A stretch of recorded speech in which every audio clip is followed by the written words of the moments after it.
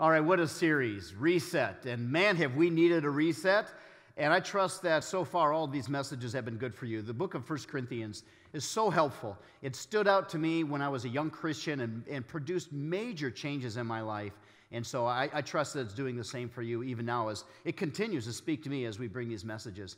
Well, today we're, we're going to be talking about marriage. I mentioned that in the intro, and uh, it's 1 Corinthians chapter 7, the passage we're going to look at. But when we're talking about marriage, uh, that might turn some of you off. And maybe some of you are thinking, I don't know if I really want to listen to this because I'm not married, or it could be that your marriage is in such a place where it's just really discouraging and you feel like this isn't for you. And I, I want you to hold on, stay in there because for, for a couple of reasons. First of all, if you're single and you're not married, I want you to know that a big part of this, of 1 Corinthians 7, is for singles. So we're not just talking to married people, we're going to be talking to singles today, and I think this is going to be beneficial for you. But the other part of it is that all of us should be familiar with what the Bible says about any situation that we may be in life, and including married. If you're single, you should still know what the Bible says about marriage. Just like you may not be an elder, I'm an elder, but you may not be an elder in the church, but we should still know what the qualifications are for elders because holding them accountable to that and knowing who to choose for our elders, that's a big deal. So all of us should understand what the Bible says about marriage. So let's let's hang in there. But as I said as well, uh, and some of you, by the way, some of you singles will get married, and so you want to hear this. But a lot of this is for singles as well, so I, I think this is going to be, be beneficial for all of us. So the passage we're looking at, 1 Corinthians 7, if you want to grab your Bibles wherever they're at and take a look at this, we're going to go verse by verse. We're going to jump over a, a bunch of it and just explain what, what sections of this are talking about because it's a, it's a big book. And, uh, and then I'm going to bring my wife in at the end of the message and we're going to get real practical. So let's, let's get into this with prayer.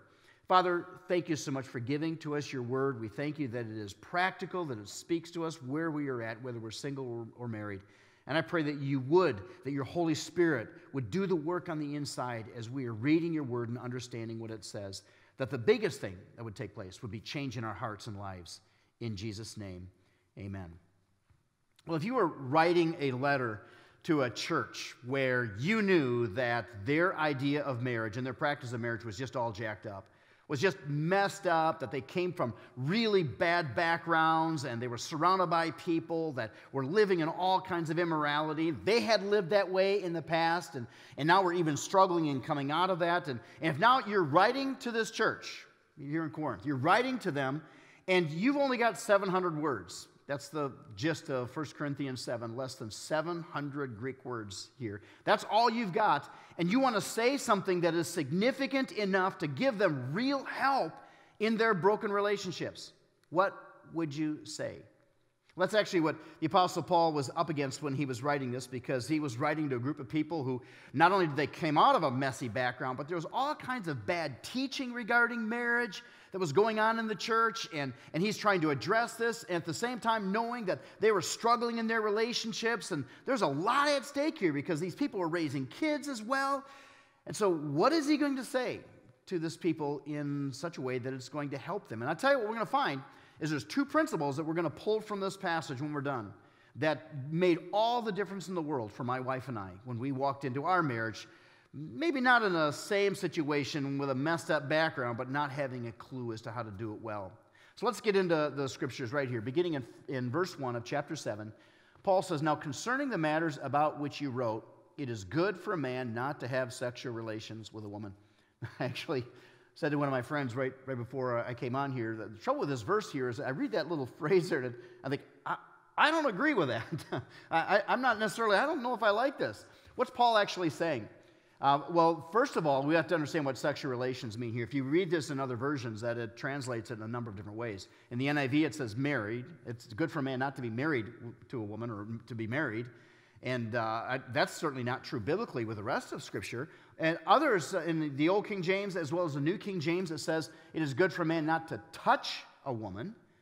And, and actually, there's, it's not all that far off. I think that the King James is probably a little closer, maybe even than the ESV, because the, the word here is aptesthai, and aptesthai does mean to touch, but in, it also means to ignite. It means to touch in a passionate way, or in a way that ignites the hormones of, of the woman as well as yourself. So we call this a kind of a passionate, sexual kind of a touch.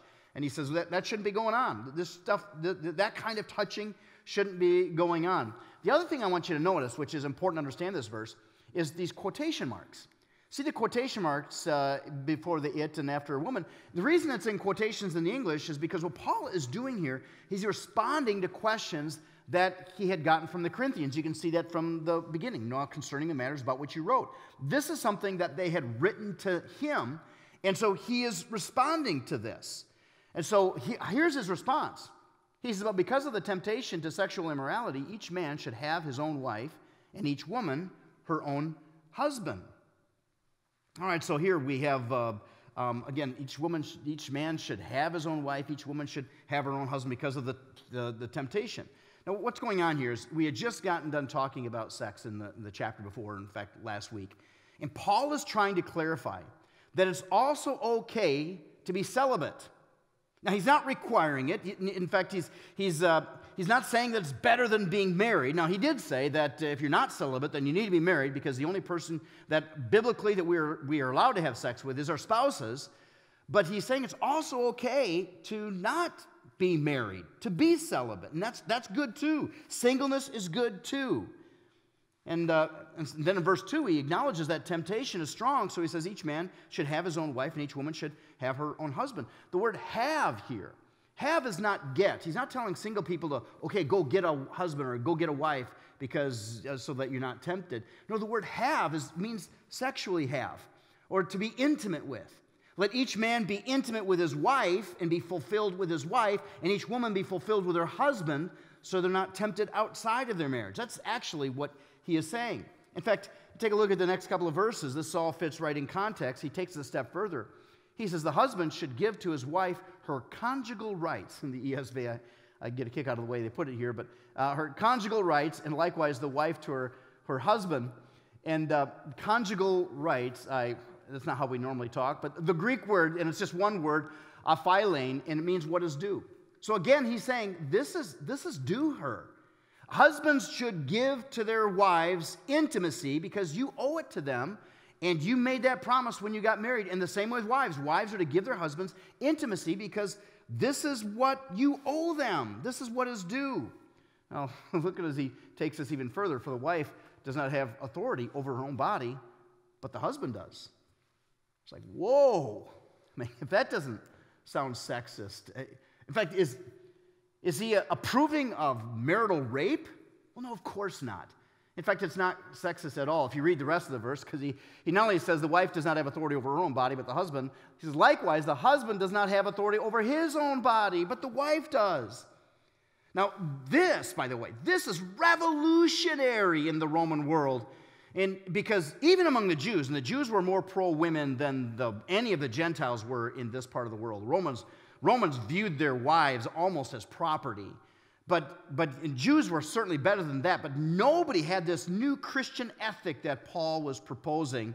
And what he is saying is that there is this mutual submission that you are to give to one another, that both of you have to understand. This is for both of you. This is a co equal obligation that you have to one another. And, uh, and by the way, this thought could be revolutionary to you in your marriages as well if you see intimacy this way. Now, I like the way the NLT, the New Living Translation, kind of softens this, but I think it also helps us give an understanding more of what he's talking about. Here in the NLT, Paul says, the wife gives authority over her body to her husband, and the husband gives authority over his body to his wife. And the point is, when you stood at the altar, or when you stand at the altar, you are giving yourself, your heart, your mind, and body to your wife, to your husband. Being one flesh now, you are no longer to think in terms of what you want or what your rights are. You are to enter into this profound new state of mutual marital submission.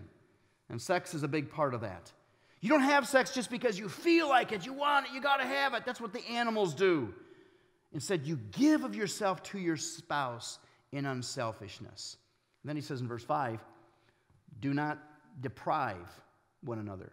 Actually, all the English versions that I looked up use the same word. Even when I looked up the Greek word behind this, they only gave one word. Usually there's a whole paragraph to explain the meaning of this word. Only gave one word, which is deprive. That's what it means to hold back what is due.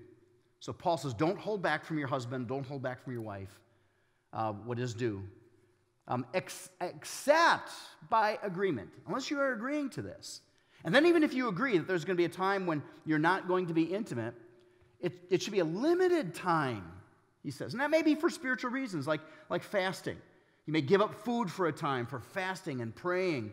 But when you give up food for a time, it's for a limited amount of time or you'd starve. And he's saying, in the same way, when it comes to your relationship as husband and wife and that intimacy, that you may agree to, to, to, to hold back for a time, but it needs to be a limited time to devote yourself to prayer, but then come together again so that Satan may not tempt you because of your lack of self control. And so he's saying, man, this, this we, we got to be careful here. Don't ever think you have enough self control to handle some, Satan's temptations when you're in a weak state. And don't put your spouse on such a pedestal as to think that they would never be tempted to cheat. Because none of us are that strong to handle Satan's temptations, especially when we are weak. We are all made out of the same stuff. Don't put your spouse in an unnecessary place of temptation by weakening them by holding back affection. That's what Paul is saying. And remember what we learned last week, which is true biblically and supported by science. It's not just that good marriages have better intimacy, more physical intimacy in marriage is a big part of making a better marriage. And once again, if you didn't get last week's message, download it, listen to it, watch it. It continues in verses 6 and 7. He says, Now, as a concession, not a command, I say this, I wish that all were as I myself am. Now, what is he talking about? Well, Paul was single, he wasn't married. And, uh, and actually, most Bible scholars, uh, I, I, looked this up in a number of sources, and most agree that Paul, being a rabbi and a Pharisee, it's doubtful that he had never been married because it was required among the Jews that rabbis be married. It was also required that Pharisees be married. He was both. And so he, he had been married at some point. We don't know if his wife had passed away. Some have speculated because of what he writes in Philippians 3 about having given up all things because of Christ, that it could be that when he was converted, that his wife was, was just, she couldn't handle it and, and left him. We don't know. He doesn't say. But I think this should really ser- serve as a shout out to all of our singles. Paul saw singleness, actually, even at this point, as the preferred status. In verse 26, if you look forward into verse 26, he says, because of this present distress. And, and we think what was going on there is that there had been a persecution in northern Greece that was now moving its way down into southern Greece, and they were about to face some heavy persecution.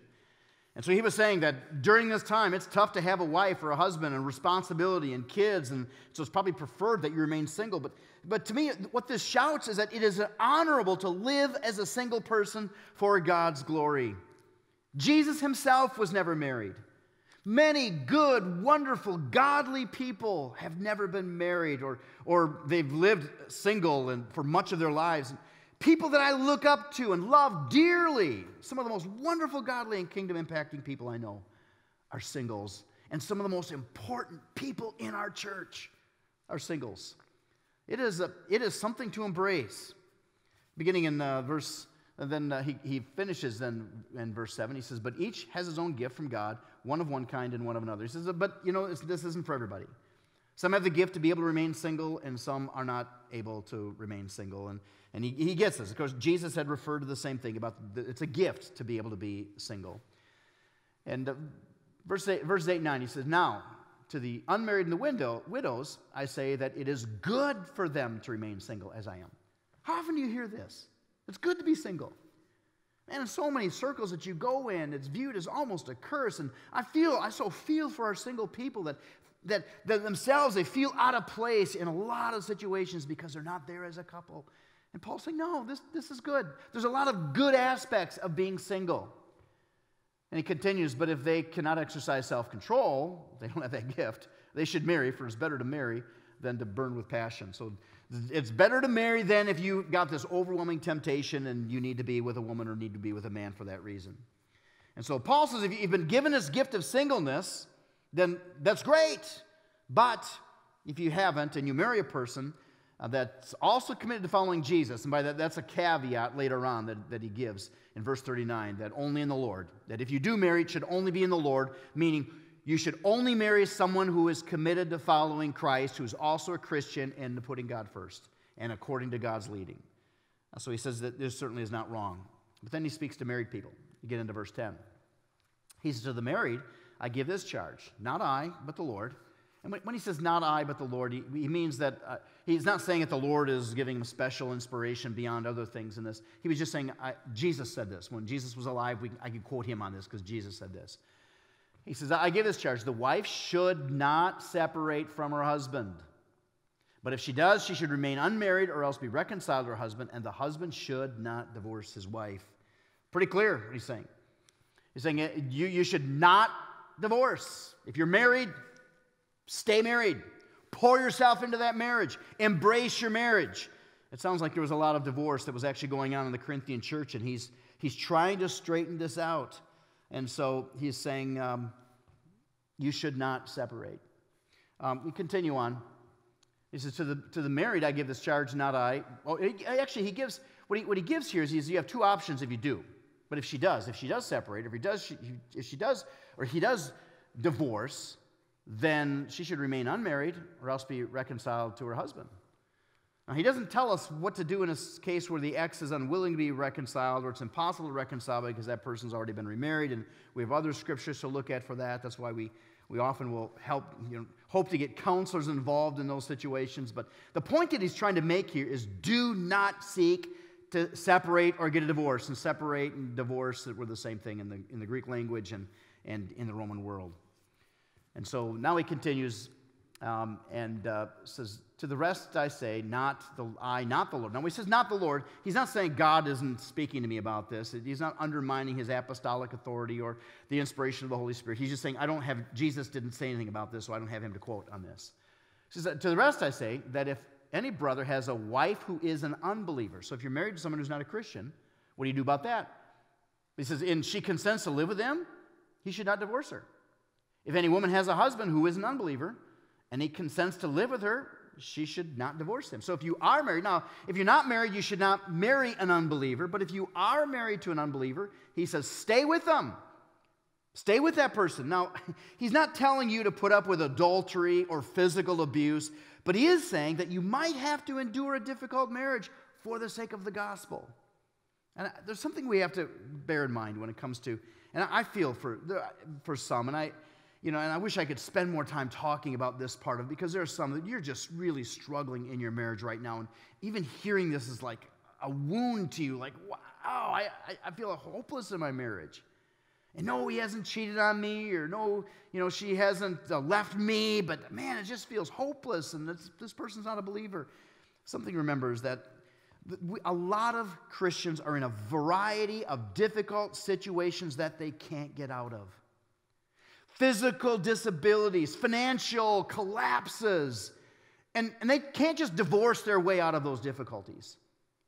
There are times when we are in the middle of something that may even feel overwhelmingly difficult. And I know, it may be easy for me to say this, but I do know what that's like. I went through some intense rejection as a young man, and even early in my Christian life. Man, I, I, I was homeless. I knew what it was like to go through some real difficulty. And some of our Christian brothers and sisters are in the middle of just horrendous situations and they can't just divorce their way out of these situations.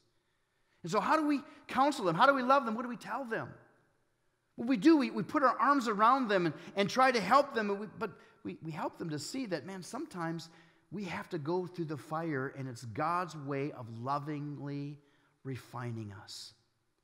And it may be that you are in a tough or a difficult marriage and it's not that he wants you to feel trapped, but he does want you to know that in the middle of this, this may be just his way of refining you and giving you a unique and wonderful way to bring honor and glory to God in a way that other people will not be able to. So the above verses, uh, verse 15 says, Well, of course, if you have an unbelieving spouse who chooses not to stay with you, they leave, you're not obligated. You're even free to remarry, which is what it means to not not to, um, uh, to not be enslaved by them. But he says, who knows? I mean, who knows whether or not you will be able to save your husband or, or who knows husband, whether or not you'll be able to save your wife, that God wants to be instrumental in bringing that person to Christ. And so this is so important that we see this as an opportunity. God wants to use you. If you're married to a non Christian, He wants to use you as the bridge between He and that and, and your spouse. And yes, that is where we got the name of our church. God wants to use you in a special way. And so if you focus on not, not just honoring God in every way that you possibly can, even in the middle of that difficult marriage. Well, as I had mentioned, in, in verse 15, he does say that if the unbelieving partner de- departs, there's nothing you can do about that. You're not under bondage in that situation. And then verses 17 through 24, this next paragraph, he goes on this whole treatise on, on making the best of whatever situation you find yourself in. Because so many Christians, they, they want to just, anytime they're in a bad situation, they want to change their circumstances.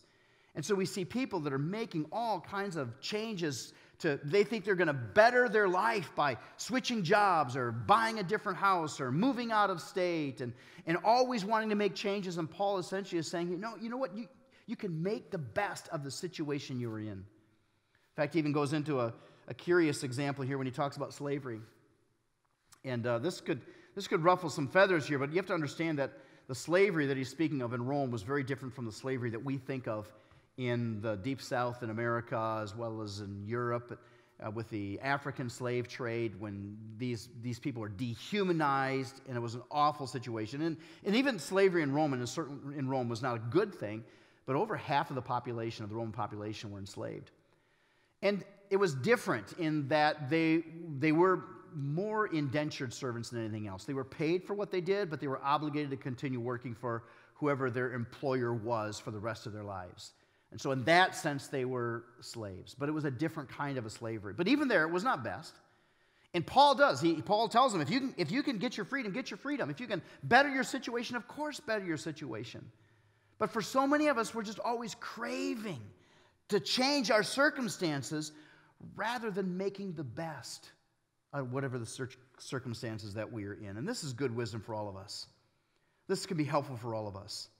In reality, this fits right in with the discussion that Paul is having on marriage, which he then returns to in the closing paragraphs of the chapter. In those closing paragraphs, he tells unmarried people to make the most of their singleness and don't crave marriage. And then he tells marrieds to stay married and make the most of their marriage. Paul really believes that happiness and fruitfulness has little to do with our circumstances and everything to do with our approach and focus on honoring God with whatever the circumstances that we find ourselves in.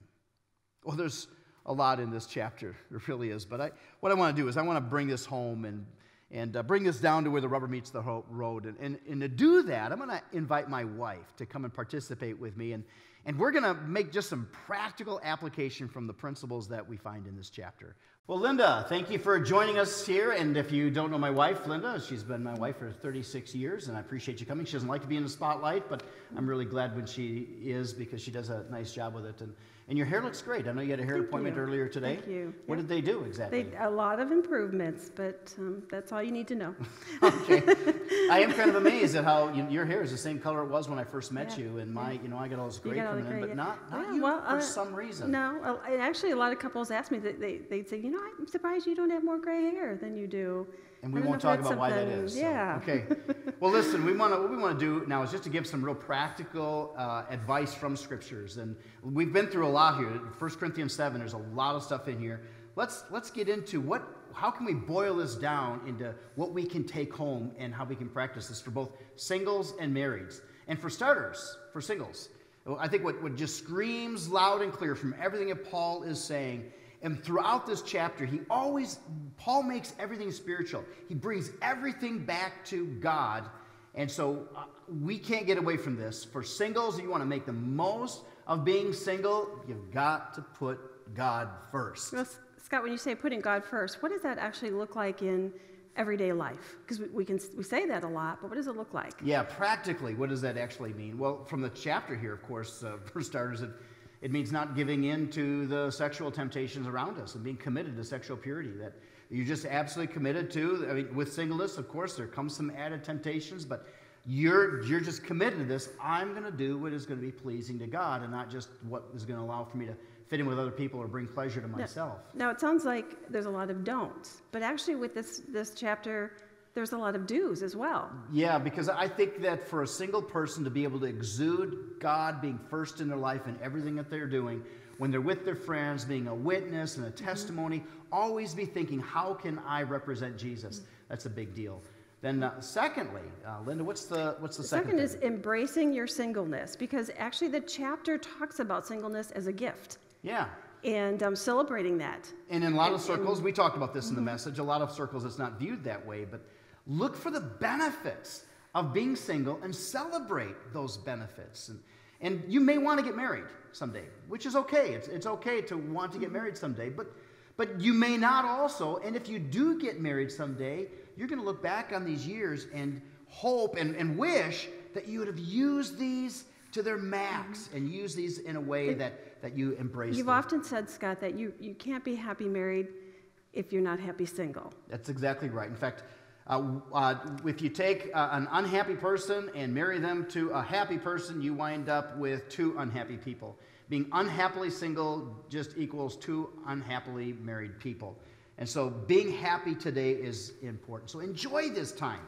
And, but, but make your time all about serving God. I, yeah, our daughter Erica, I, have got to hand it to her. During the, her single years, I mean, she mm-hmm. really did. She embraced it and made the most of it. And she wanted she to get did. married. She did. She longed to get married. Mm-hmm. But she traveled, traveled actually uh, around the mm-hmm. world and uh, mm-hmm. saved up her money and and she poured did. herself into serving. She, she, she did. She she was in. I think she had. I think she was serving in like four different places at one time. Four different ministries in the church. Just because she was she was able. She was single and she poured herself into it. And I, I, I, I think another great uh, thought of this is that if you're single and you have these opportunities to be able to serve in ways that married people, people with families are not, not able to, what about just making yourself available to people who need you in a special way? Like, guys, when we get one of those big snowstorms, why not get up early and get out there? There's a lot of people out there that could really use your help, just shoveling their walk and clearing out their driveway. Why not just get out there and do something for some people who need you. Or, or perhaps making yourself available for childcare, guys and girls, for, for those that at one time they were single, now they find themselves uh, up to their neck in kids and they just have barely enough time to breathe. They could use you to help out with some childcare. So why not make yourself available to that? It's got, um, years ago, uh, if I, there was a friend of mine, Katie. Yeah. Let me just kind of tell you a little bit about Katie. Katie was a single woman who I believe, I mean, long to get married. Yeah.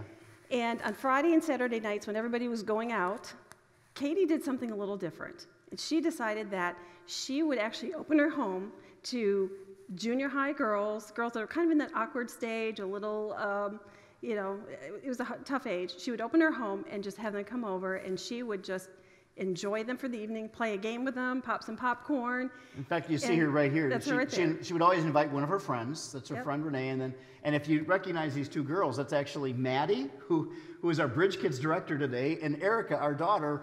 Both of them godly women, and she chose to use her single years to pour mm-hmm. ourselves into the lives of these young girls. She actually wound up getting married. I think it was the she last did. wedding I did before I left she Wisconsin. Yes. Yep. And uh, is enjoying mm-hmm. her married life now, but made the most of her singleness. She did. Well, we have to talk to the marrieds as well, right? Because uh, actually, this was called resetting your marriage. But again, uh, and, and I, a good way to start off here, Linda, is we've talked about this when we do the marriage mm-hmm. series. You and I, we, we had, we just didn't have much to go on when we got married. We had no pre-marriage counseling. We wish we would have, but we didn't. Uh, we, we didn't come out of a background where we had uh, models to follow and we didn't right. know people. I came from a really tough situation, and my mm-hmm. parents had a really bad marriage. Not, not so much with your parents. Your parents had a good marriage.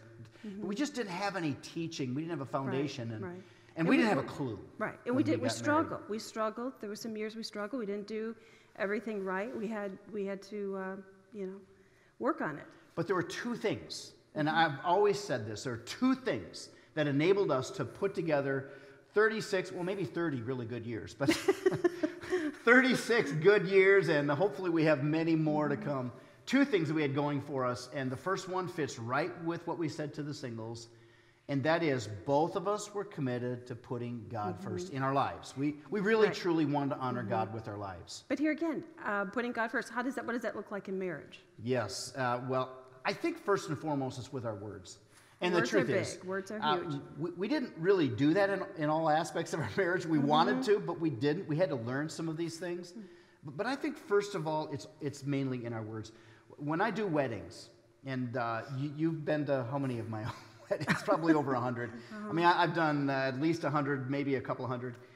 And I, I say almost the same thing every time because I know that the couple that I'm doing a wedding for, they're, they're not listening to a whole lot that I'm going to say. So I just want to give them one thing that's powerful. And so I think about these Corinthians.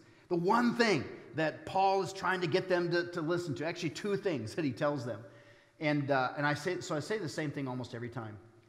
And uh, it, it actually goes back to what Paul said to the Ephesians about marriage. But I say this: if you every time you open your mouth, I look at the wife. Every time you open your mouth, and you are talking to your husband, if you are saying words that are pleasing to Jesus, not your husband, but if you are saying words with a tone that Jesus will be pleased with, you're going to have a good marriage.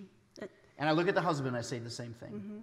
And, and, and likewise, as, as a wife, if I am not showing, um, if I'm not submitting and showing respect, encouraging you to lead, and, and my, that's actually some, I'm stubborn, so that's, that, it's tough for me sometimes. But if I'm not doing that, then I'm not showing um, respect, and I'm not, I'm not taking God seriously if I'm Because not doing that. you, you can't be because it's, it's what the Bible teaches. In the same way, if I'm not doing what Peter said, to, to live with your wives with understanding and just learning all about my wife and then, and, and then loving her and striving to love her as Christ loved the church, then I can't be putting God first. See, a lot of us, what we do is we try to make it about the marriage. We talk about, well, my marriage is bad. It's not the marriage. It's the people in the marriage. We want to say, well, like, like, it's a, like it's a piece of luggage or, you know, something outside of me that, well, I'm struggling with my marriage, but everything else is great. No, it, it's, it's all about the relationship. It's me, it's, it's my sin. It's not the marriage that's bad, it's my sinfulness that's hurting the relationship. And so putting God first for me has got to be focusing on doing all that I can to love my wife as Christ loved the church and learning everything I can about her so that I know how I can love her in a way that really is meaningful. Well, and, and too, praying together. Praying together is, is a huge thing in a couple's life because that brings you together. We mentored one couple where they had never prayed together ever in mm-hmm. their life up mm-hmm. until the time when they started meeting with us. And, and, and their marriage was, it was struggling. Mm-hmm. And the one thing that they took away from this uh, was that they began praying together. In fact, it was almost a year later, the husband said to me, I want you to know this, Scott. There has not been a day since we first started meeting with you that we have not prayed together, not a single day. It revolutionized their life together. That spiritual component, putting God at the center, makes all the difference in the world. Mm-hmm. Put God 1st mm-hmm. I think about just actually the other day, it was a couple days ago. Mm-hmm. You head off work. Usually Lydia gets off real early. She's gone real early. But you had off work that day. We still got up early, and, I mean, and I get up early anyway. And I got up and I was having my quiet time, and, and then you came in and sat down on the couch across from me, and you, you pulled up the church app and then did your reading. And, and we sat there and talked after doing our quiet time together. There was just something very special, and I think Yeah. powerful as, as we have that third strand, as it says in Ecclesiastes, the cord of three strands, that third sta- strand that binds us together. Well, you, you, That's uh, putting God first. Right, and Scripture also talks about two, where two or more are gathered. There mm. am I in the midst of them, and just that that feeling of we were there, We just were reading our own, him. reading our own on our own, but we were there, and there was security in knowing that we were both having, you know, spending time with God and in the Word. All right, number two, the second thing that Paul talks about and that we had going for us. Again, only two things going for us. The first was we, we truly had a sincere desire to put God first. But the second thing, which is also a really big deal, that Paul hammers away at here, and that is stay married. That is really important because so often um, people throw around the D word a lot. Yeah, and if you leave a way out, if you if you if you, you have a way out, you're going to take it because Right. eventually the marriage is going to be a big enough struggle that if, if you have a way out, you're thinking, oh, I, I can always you know end it if it doesn't work. You're going to, Because mm-hmm. every marriage comes across some really tough Right. times. Now, I always said divorce, never. Murder, maybe. Yes. So, uh, Well, but we had made the commitment uh, very before we got married. Yeah. In fact, we'd made the commitment that we were never going to threaten each other with divorce. It would Right. never the D word. don't We, even- wait, so the D word. We didn't want to say divorce. We don't said- even, we've not even joking. Not even Not joking, joking about it because we didn't think it was funny. Right. The- enough people's lives have been shattered by this. Right. That it's not funny. It's not funny for couples to joke Right. about this. And it certainly, the, the, the threats of divorce and all that is is manipulation. You're simply manipulating your spouse to try to get what you want by threatening to leave or threatening to divorce. Mm-hmm. No, just completely take that out of your vocabulary. There's something changes in you when you decide that no matter what, we are going to make this mm-hmm. work. Now, Scott, there's, there are times, though, that divorce is sometimes necessary. There, there are, sadly, there are some times when there is an unrepentant spouse who is living in sin, and as, as Christians, we cannot permit that sin into the family. When there is ongoing adultery, there are times when a spouse does have to put their foot down. And I, I say, when those times come, it's very important that you get a lot of godly people speaking into your life and that you get some good godly counsel regarding this. Now we got to bring this to a close, but um, just you know, I think a good way to end this is I, I'm just I'm thinking of a couple right now that both of us know, and actually, the, this I could I could tell this story time and again with several other couples.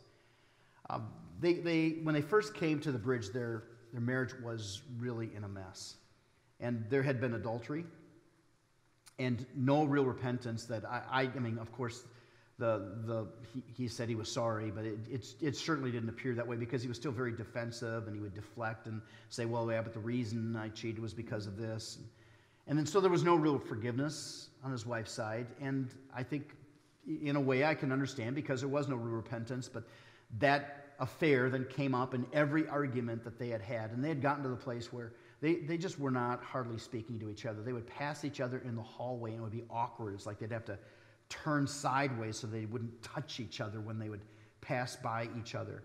And it was just, just a really bad situation. They, they had told me that they stayed together for the sake of the kids. And I would hand it to them because I think that was a selfless move and that was one thing that they had that could go in their favor. People say, well, you should never stay together for the kids. And I say, no, you're wrong because the, that divorces shatter kids' lives.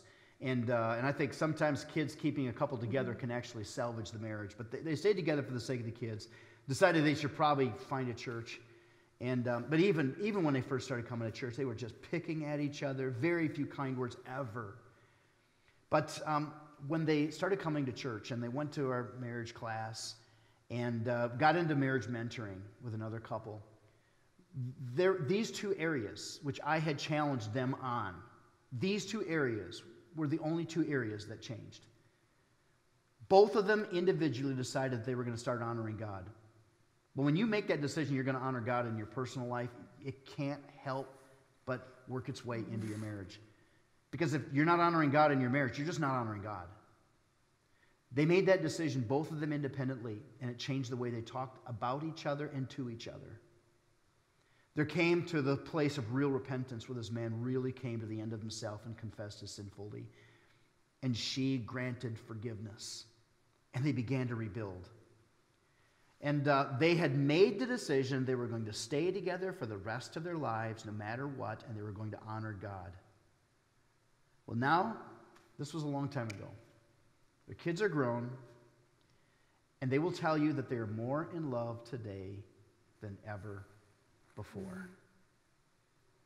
I'm telling you, just these two principles. You decide that you're going to honor God in the way you treat each other in every way. It's not about a bad marriage. No, it's about a sinful you. No matter what she does, I'm going to honor God. And secondly, we are going to stay in this thing and we're going to make it work. You follow through on those two principles, and you can see the kind of relationship that most of the world dreams of mm-hmm. and will be drawn to Christ because they see it in you. And Scott, I think of it as being a, it can be a little glimpse of heaven instead of a life sentence. Absolutely. Thank you so much, Linda. Mm-hmm. Let's, let's bow our heads for prayer. And Father, I thank you so much for speaking to us in, in this moment as we ask everybody now to consider how you want to speak to them personally. I pray in the name of Jesus that your Holy Spirit would work. I pray for those singles who are watching right now. And they're struggling because they, they recognize, man, they, they've not been putting you first in their single life. I pray that they would make that commitment right now, that from here on out, they're turning away from whatever it is that's getting in the way. It could be porn for some, or Tinder, or just a lifestyle that's just kind of nonchalant and willing to just go out and have fun, even though it's not honoring to you. I pray that all of our singles would fully embrace their singleness and say, I'm going to make the most of what God has given me in this time. And Father, I pray for our marrieds in the same way that God would be first in every interaction, certainly in their personal, individual lives, but especially in their lives together. In every interaction, they'd be asking themselves that question Is Jesus pleased with how I'm talking and with what I'm doing? And may we be absolutely committed to following through on your calling for singles, making the most of our single life, for marrieds, making the most of our marriages and staying with it. And as God speaks to you, you determine in your heart and your mind right now what are the changes I need to make? And in your heart, respond to Him. Make that commitment, that promise to Him to follow through on how you know that He is speaking. Thank you, God, for this chapter. And I thank you for applying it to our hearts and lives now. In Jesus' name, amen.